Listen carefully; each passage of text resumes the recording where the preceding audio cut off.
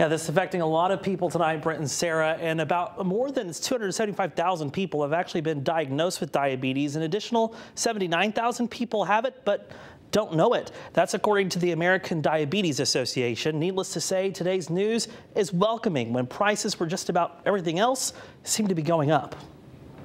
For too long, people have been rationing the use of the insulin because the cost was so high not only diabetes became a medical condition for them, it actually became a financial condition for them. Eli Lilly, the nation's largest drug maker for insulin, announced Wednesday that they would be cutting insulin prices by 70% and capping the out of pocket expense for patients to $35, something Connecticut already has in place. In 2020, Governor Ned Lamont signed a law that would cap the cost of insulin for state regulated insurance plans to $25. I'm so proud of being part of the state and also being a co sponsor of the bill that actually limited and capped the cost of insulin in Connecticut. State Senator Saud Anwar, who leads the Public Health Committee in the General Assembly, said as a state leader and as a doctor himself, he hopes other companies follow Eli Lilly's lead.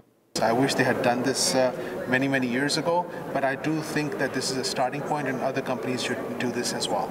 Eli Lilly's CEO said that oftentimes discounts don't always reach patients, but this would be much needed financial relief as inflation continues to put pressure on the budgets of many Americans. There's so many challenges in the healthcare system. The cost of healthcare is going up, the cost of medications is going up, uh, the number of people who are actually in the healthcare field are decreasing because they don't get enough salaries or enough quality of life. All of those things are something that we have to make a policy not only for today, but about tomorrow.